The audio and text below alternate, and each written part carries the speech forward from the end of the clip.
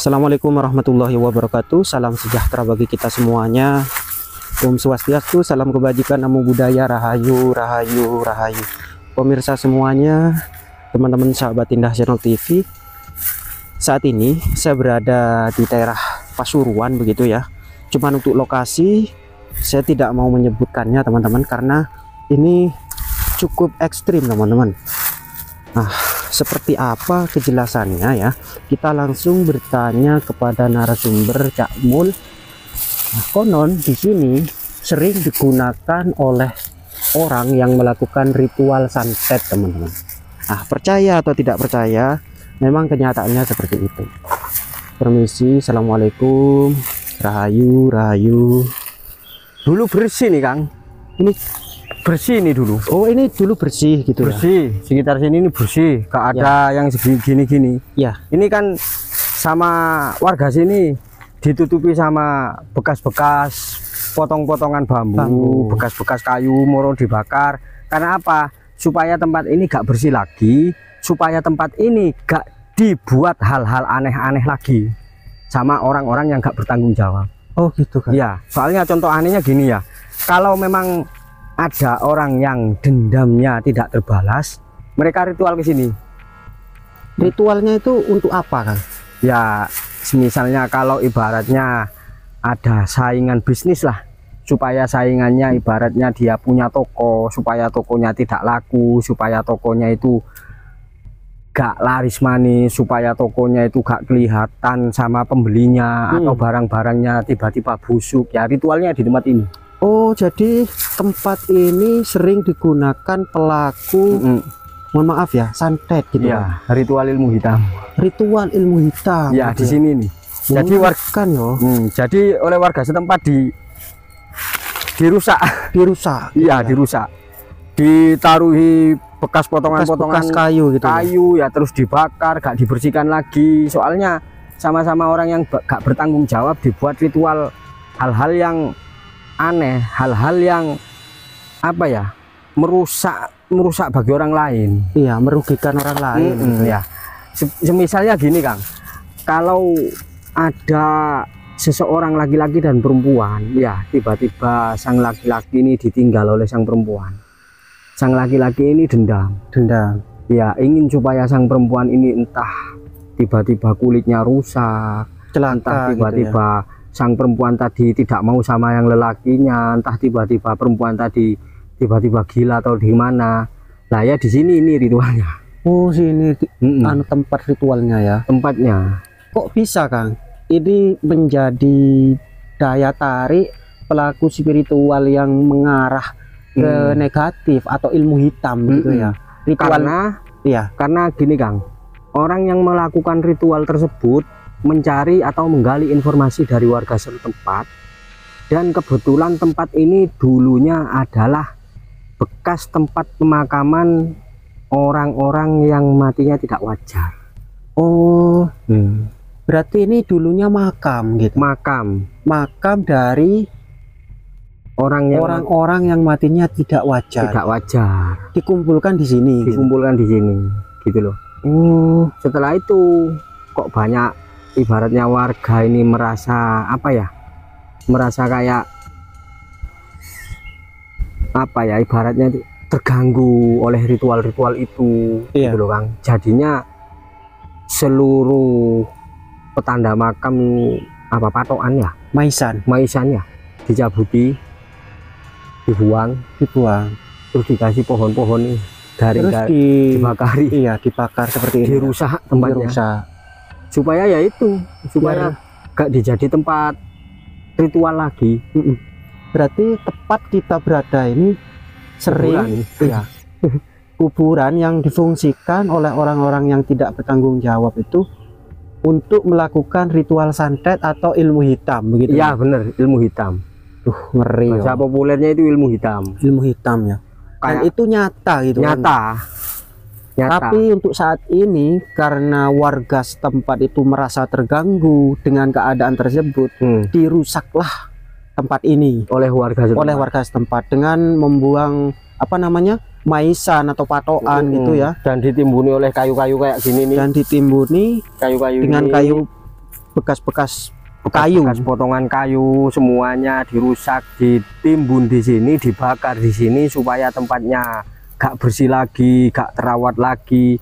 Walaupun tempatnya terawat dibuat ritual hitam kang. Iya, kayak gak sepantasnya tempat seperti itu. Iya, biasanya akan tempat-tempat itu dibuat ritual yang bagus-bagus Iya. gitu kan.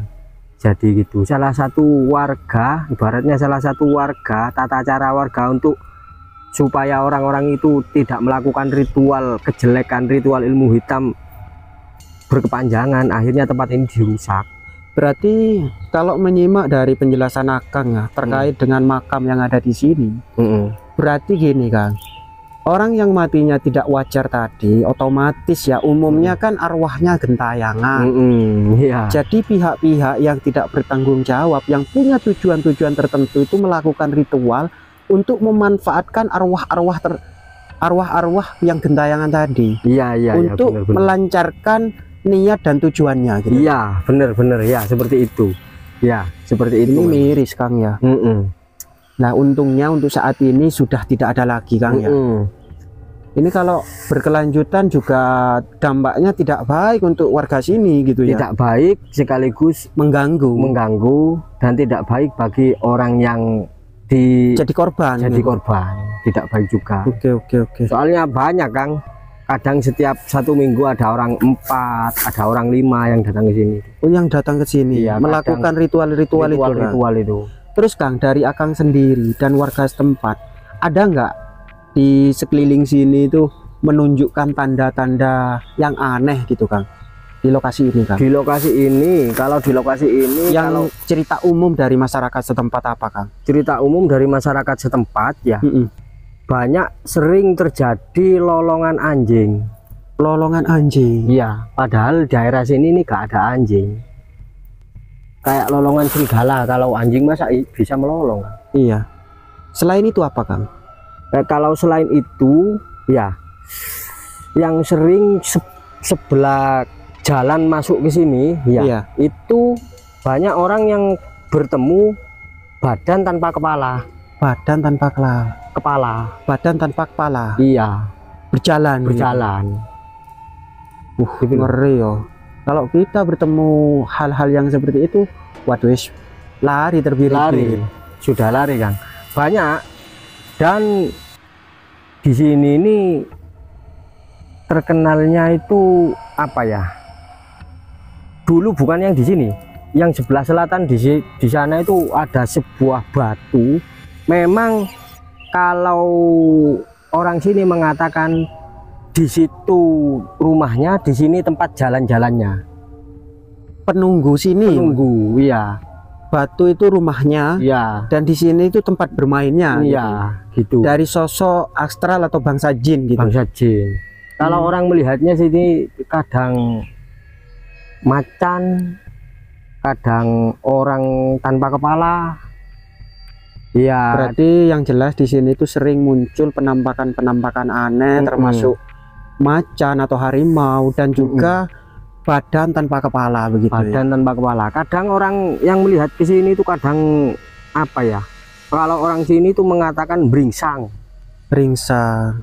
bringsang itu kayak semacam musang entah musang entah Sejenis musang kalau beringsang itu kak. Kalau hewannya loh. iya tapi gerombolannya lebih dari 50 Betul betul Hmm. betul. Dan itu hidupnya di air biasanya. iya Di tapi kan di sini air. kan gak ada air Iya. kok ada gitu kan gak masuk akal Itu hewannya itu nyat maksudnya penam, salah satu penampakannya. penampakannya Oh gitu. iya Jadi kalau di sini kan gak ada air kang kok Iya. ada hewan kayak gitu gitu loh muncul di sekitar sini. muncul di sekitar sini Bukan garangan, bukan. bukan kalau garangan kan cuma satu dua itu gerombol lebih 20 lebih 30 berbaris Oh muncul di area sini kang. area sini sampai ke selatan sana Dan warga itu sering melihatnya. sering melihat Pernah nggak ada warga yang penasaran terus mengejar atau memburu hewan tersebut? gak ada soalnya warga sini sudah tahu kalau itu bukan makhluk biasa tapi melainkan makhluk halus masa, ma- makhluk kasat mata Oh gitu, Gitu ya. loh. Memang secara nalar atau secara akal Mm-mm. logi- dalam logika gitu ya. Hmm. Berang-berang atau yang di, yang dikenal dengan bringsang gitu ya. Hmm. Itu kehidupan atau habitatnya itu dekat dengan sungai, air. gitu. Air.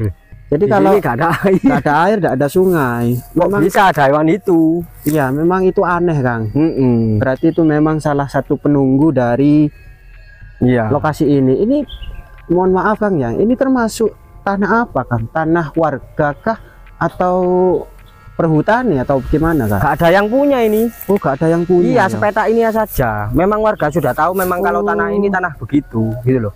Gak ada yang punya ini. Jadi terbengkalai gitu ya. terbengkalai, Cuman ada rimbun rimbun bambu. bambu. Ya.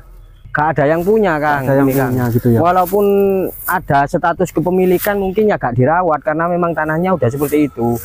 A- anu ya, mungkin ada rasa takut gitu. ya. Iya, karena tanahnya itu sering dibuat itu Kang ritual ritual hitam, Ilmu hitam gitu. ilmu ya. hitam ya. Seperti itulah yang diceritakan oleh Kang Mul ya, bahwa di sini dulunya dibuat tempat ritual orang melakukan ilmu hitam, teman-teman. Kondisinya seperti ini. Sudah dirusak oleh warga ya. Penuh dengan semak belukar begitu ya dan banyak potongan-potongan kayu. Ini memang disengaja biar tidak berkelanjutan, teman-teman. Oke, semoga tayangan ini bermanfaat. Salam budaya, salam lestari, Indonesia Jaya. Wassalamualaikum warahmatullahi wabarakatuh. Rahayu.